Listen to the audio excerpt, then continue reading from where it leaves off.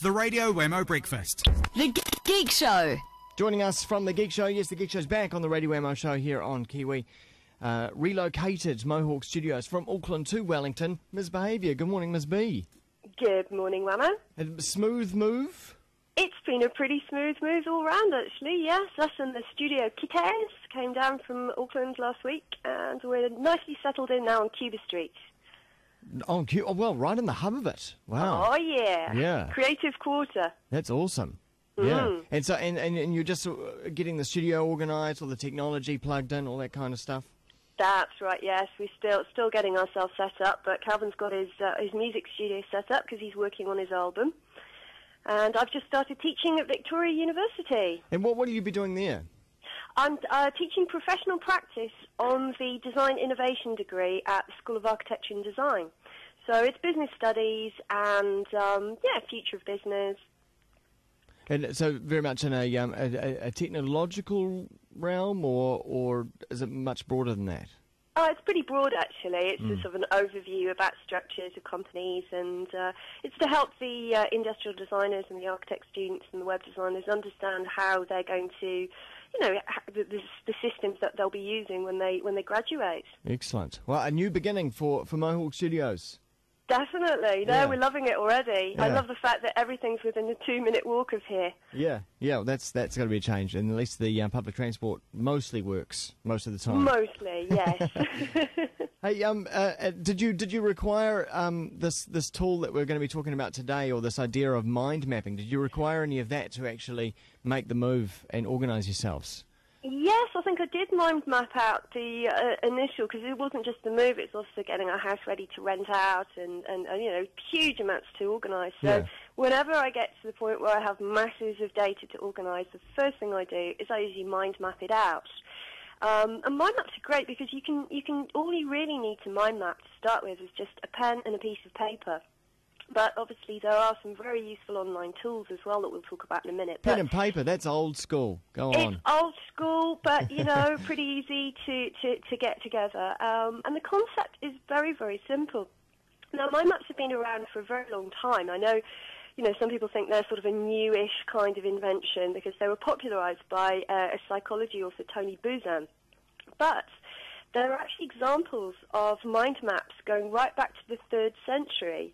There was a guy called Porphyry of Tyros, who was a, a noted thinker of the third century, who mind mapped up the concepts of Aristotle. So it's uh, you know it's a technique and a tool for brainstorming, visual thinking, and problem solving that's been used for many many years. And they're being used more and more now in education, which is, you know, the, the example that I'm using right now with, with t- teaching my course. Um, every single lecture that I give, and, and in fact, every single lecture or, or, you know, keynote speech that I've been giving for about three, four years now, I've been using a tool called MindMeister, which is an online mind mapping tool. But, you know, going back to the pen and paper to start, simplistically, if you if you want to mind map out a problem or, or, or mind map out uh, something you're trying to, you know, to brainstorm, the first thing you do is you write uh, a word or a few words in the middle of your paper to describe what it is. So, you know, it could be the, the, the title of your speech or, or, or, you know, like you said, family party Yeah. and then you put a circle around it. So that sits right in the middle of your, your piece of paper. And then what you do is you start off with put, putting main branches off it. So you, you draw a line, and then you'll think, well, let, you know, let's use the family party for example, guest list. So you'll put a branch that says guest list, and then you might, and then under, then branching off from that branch are, you know, the people on the guest list. So then you might have a family guest list, then friends, and then your family. That branches off. So you can see that every time you add a branch, it extends away from the main point. Hmm. And the further you get away, the more detail you put in. And then the next branch might be food.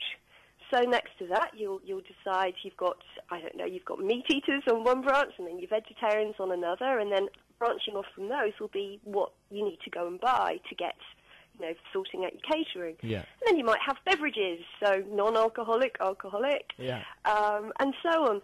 And the key thing is mind maps are a visual way of organising information in a similar way to the way the brain works. Yeah, because brains. we, we were taught yeah. this we were taught this at school, and and yet Yes. and yet it's it's kind of a skill that you that you you leave at school for some reason, but but it's so applicable and you should always use it. That's right, and this hmm. is it. And they, they they do very much teach it at school now, just of ways of getting your head around stuff, getting your head down onto paper, without having to make huge long lists, hmm. Or without having to write full blown essays. Yeah. I mean, for example, I've, I've been saying to uh, someone I've been uh, talking to this week about, um, you know, grappling with the amount of work you have to do on a degree course.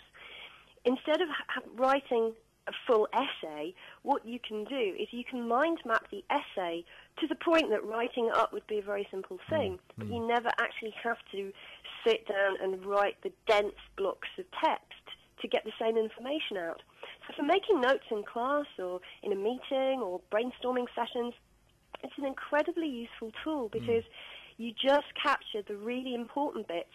And because you see it on this diagrammatic format, um, and the, with the, the branches going around in, in sort of a clock face format, you get to see the interconnections between the different subsections. And when, like me, you know, if like me, you're, you're dealing with quite a complex uh, task, which is to map out an entire course into sub lectures, and then you have the, you know, obviously the, the, the activities and the, the guest speakers. First thing I did when I was grappling with it was I put together a mind map, and it just lets you see it in a way that makes it easy for your brain to get, you know, for you to get your head around it.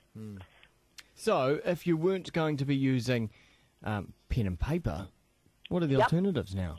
Well, the open source version that uh, quite a lot of people use is called FreeMind.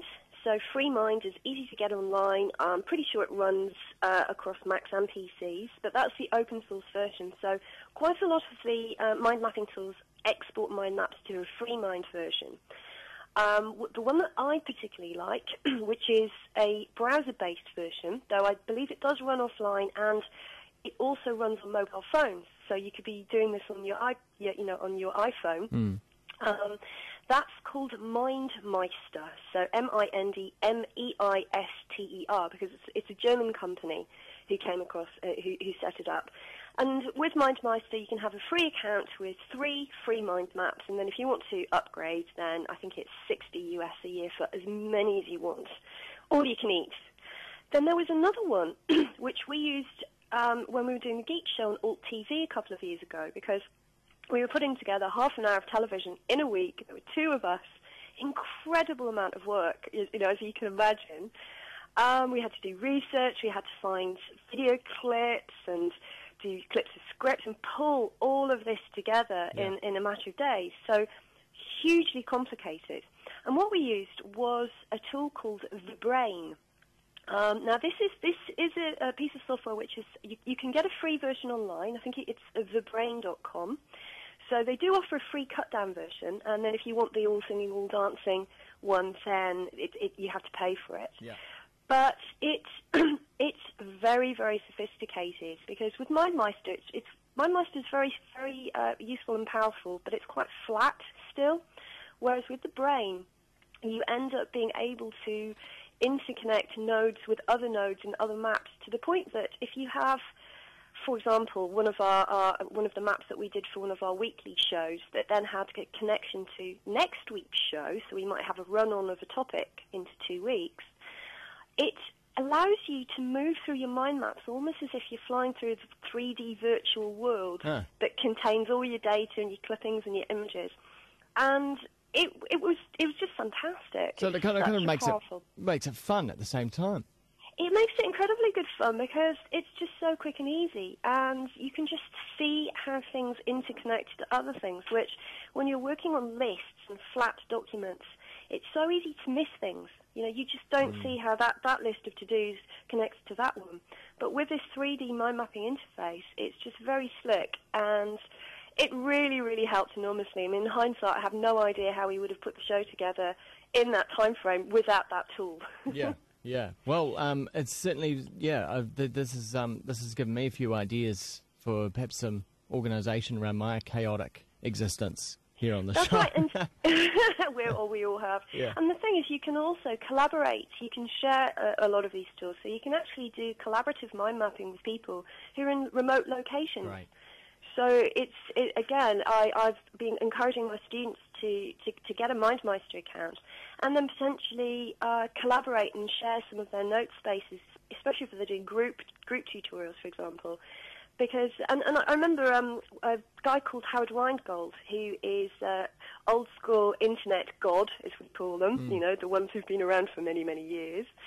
Um, he's been around since the uh, the Well community. He wrote a book a few years ago about massively mobile networks.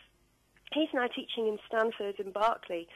And I remember one weekend I saw him online because he's on Twitter, asking if there was a tool that anyone could suggest to allow his students to take collaborative notes, like, you know, in real time in hmm. one of his classes. So I just tweeted back and said, "Have you used MindMeister?" And I got a a message back from him the next day saying, "This was brilliant. I've got three students, you know, in real time, making notes in this shared space." And it was the first time that any any of them had actively volunteered to do so because Yeah. they thought it looked like fun. Because it and was it is fun. fun. Yeah. Mm. Thank you very much, Ms. B.